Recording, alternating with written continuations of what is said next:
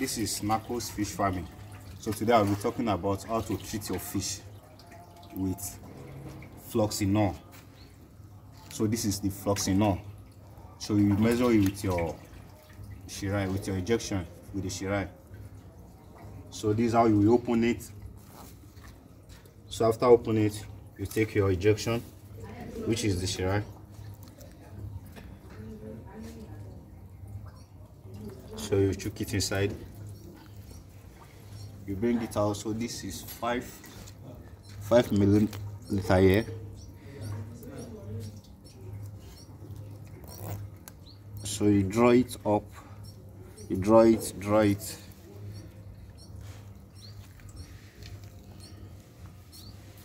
So you get your five milliliter of the injection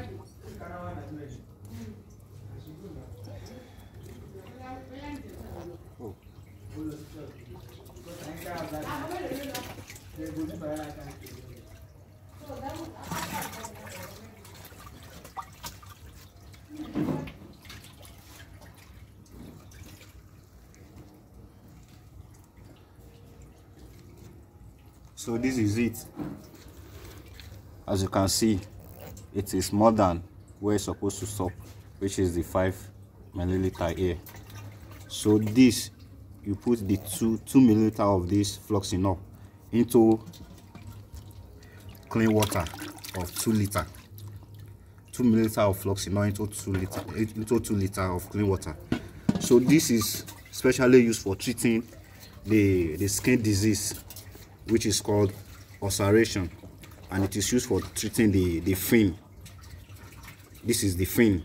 So sometimes you notice that the fin is somehow reddish in color so that means it, it needs to be treated. So this is the skin ulceration that i'm talking about here. This is it here. So you treat them. So it is treated. When you get your clean water you put the fish that is infected that have the disease you put it inside the clean water. So most most of these ones some of them are having the disease. So you you add the Floxinor into the water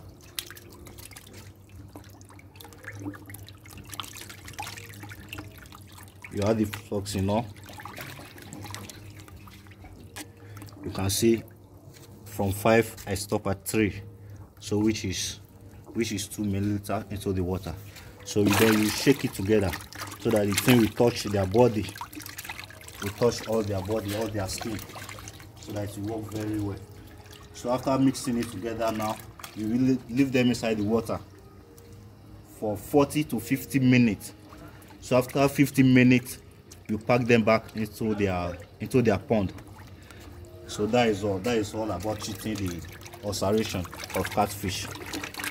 Thank you